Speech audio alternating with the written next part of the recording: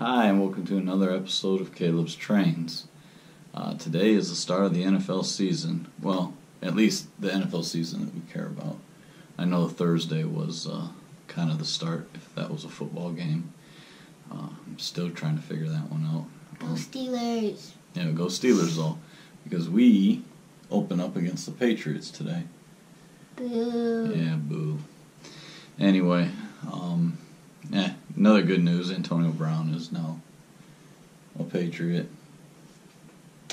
I know. I just don't get it.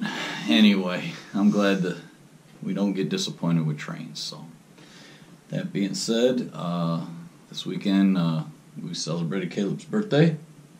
Happy birthday to me. Yeah, and Caleb got something cool that he wants to show everyone.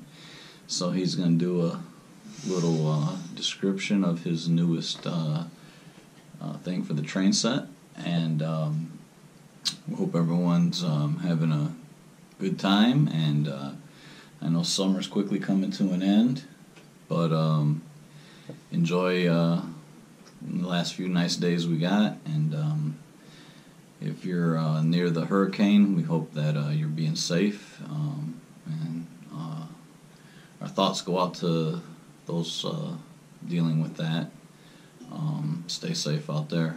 And um, other than that, I think we're just gonna get right to it. What do you think? Mm-hmm. Yeah, you got anything you want to say about football? Anything? I don't know. I Life. have three things to say. Okay, let's hear them. Go Steelers. I like that one. Happy birthday to me. I like that one too. And happy railroading. All right.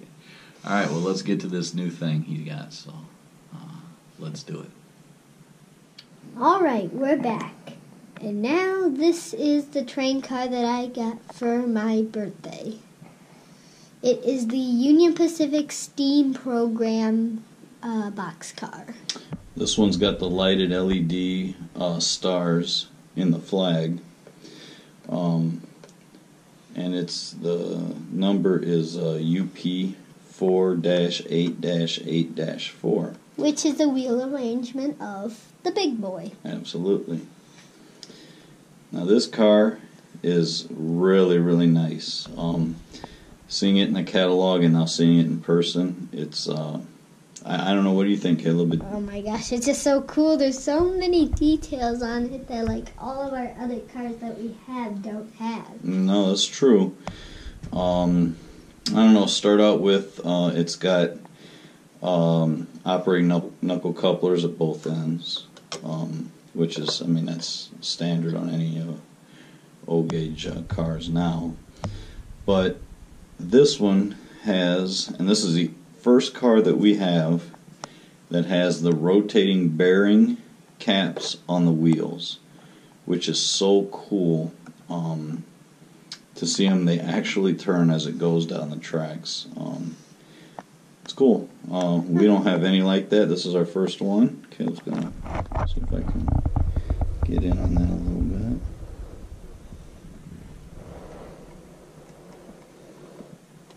I don't know how well that's showing up, but uh, trust us.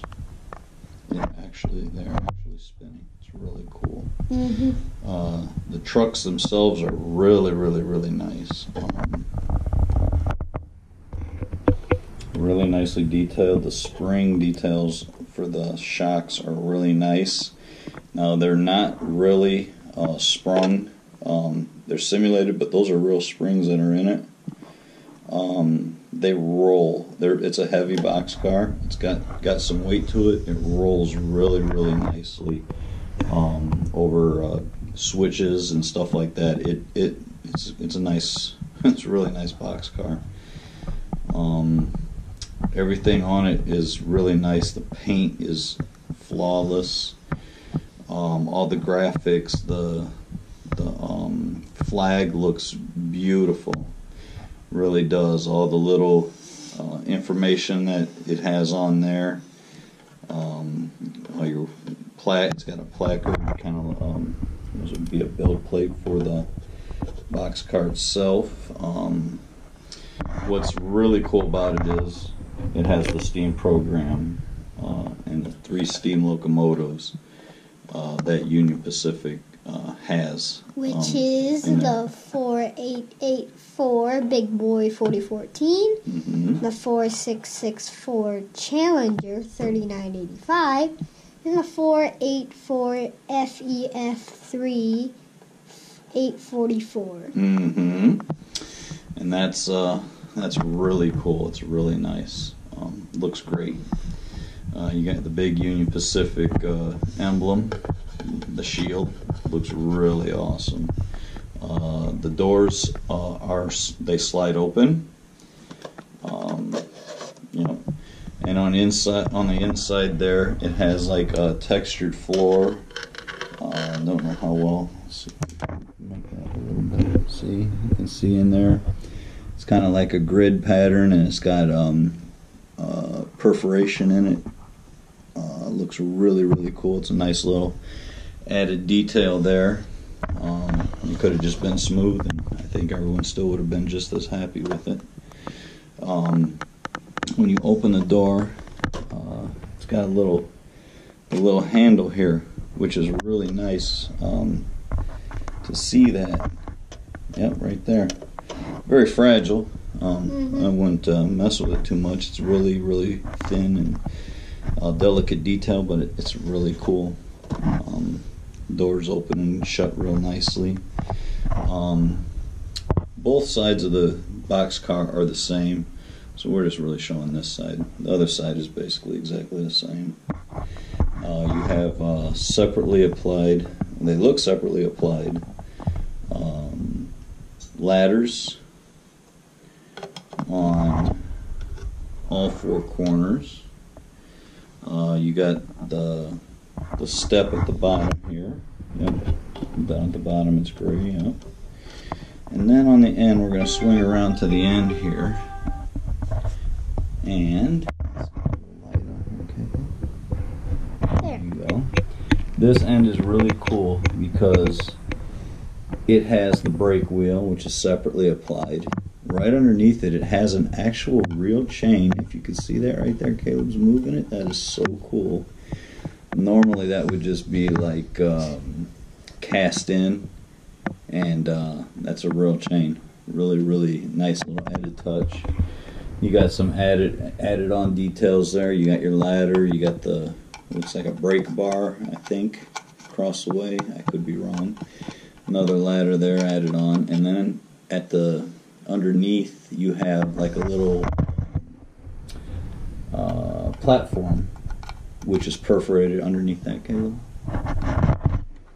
Yep, and it's actually got uh, the perforated holes, uh, the drain holes in it. It's uh, really nice, really nice detail. And at the top, it's got the UP4884 number.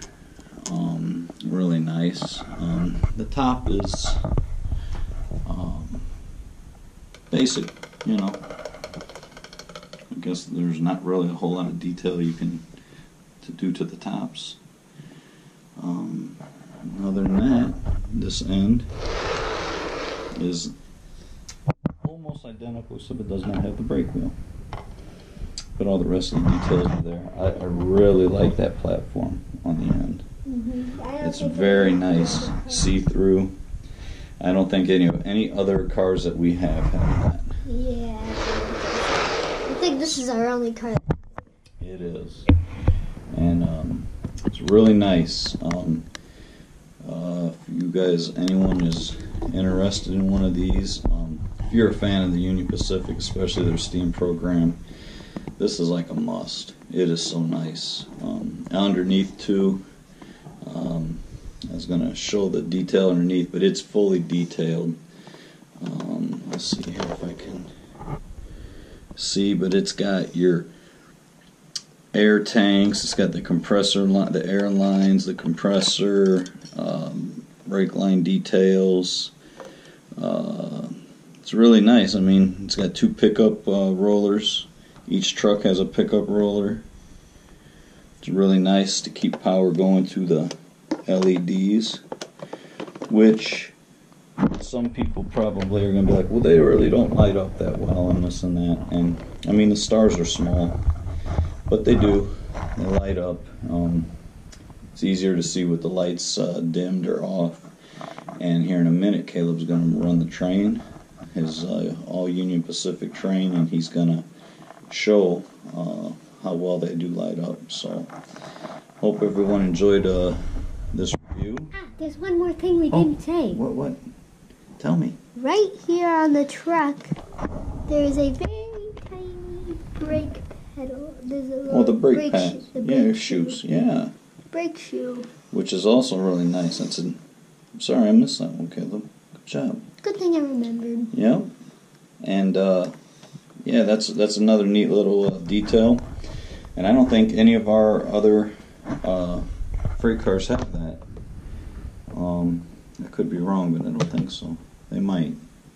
Maybe it just shows up so much better because it's silver. But yeah, I know our other big boy box car, that double door one, does not have that. Um, so that's cool.